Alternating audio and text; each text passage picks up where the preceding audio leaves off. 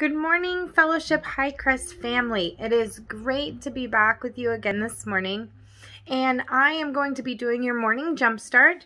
We are actually going to be coming from the book of Acts, chapter 4, verses 10 through 22.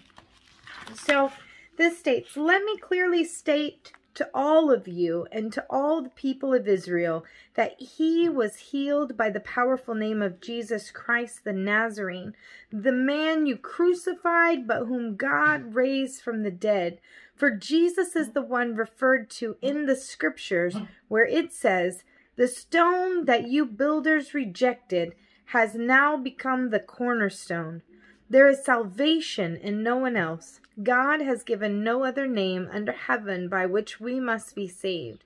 The members of the council were amazed when they saw the boldness of Peter and John, for they could see that they were ordinary men with no special training in the scriptures. They also recognized them as men who had been with Jesus. But since they could see the man who had been healed standing right there among them, there was nothing the council could say. So they ordered Peter and John out of the council chamber and conferred among themselves. What should we do with these men? They asked each other. We can't deny that they have performed a miraculous sign, and everybody in Jerusalem knows about it. But to keep them from spreading their propaganda any further, we must warn them not to speak to anyone in Jesus' name again.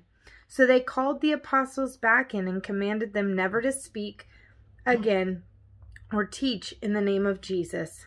But Peter and John replied, Do you think God wants us to obey you rather than him? We cannot stop telling about everything we have seen and heard. The council then threatened them further, but they finally let them go because they didn't know how to punish them without starting a riot, for everyone was praising God for this miraculous sign, the healing of a man who had been lame for more than 40 years. And this is God's word. So there's a couple of things that stuck out to me with this passage. The first thing is when they are talking, the people around them are noticing that one, these are just ordinary men. We are ordinary people. Ordinary people spread Je- Jesus's word they can have the most impact.